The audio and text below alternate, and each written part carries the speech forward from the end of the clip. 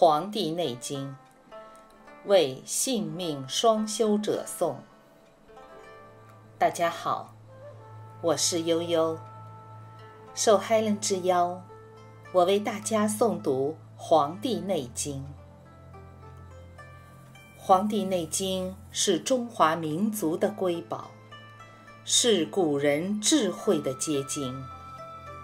在《黄帝内经》的四气调神大论篇中，古人告诉了我们，在不同的季节有不同的养生方法。那么，春天是个什么样的季节？该怎么做呢？请听：春三月。此谓发陈，天地俱生，万物以荣。夜卧早起，广步于庭。披发缓行，以始至生。生而勿杀，予而。勿夺，赏而勿罚。此春气之应，养生之道也。逆之，则伤肝，下胃寒变。奉长者少。这段话的意思是说。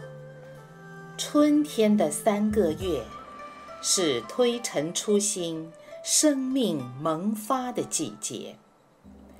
天地万物都显得欣欣向荣，富有生气。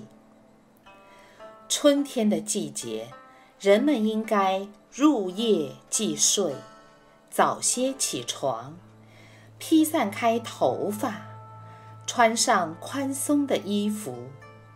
在庭院中缓缓散步，使形体得以舒展，使生机得以生发。在春天的季节，不要随便杀戮，要多给予，少掠夺；要多奖励，少惩罚。这才是适应春天的季节、保养生发之气的方法。如果逆了春天生发之气，便会损伤肝脏，使提供给夏天生长之气的条件不足。到了夏季，就会发生寒性病变。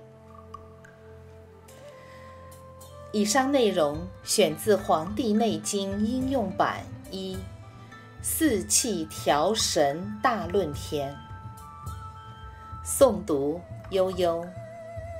谢谢您的收听，祝您健康，我们下次再会。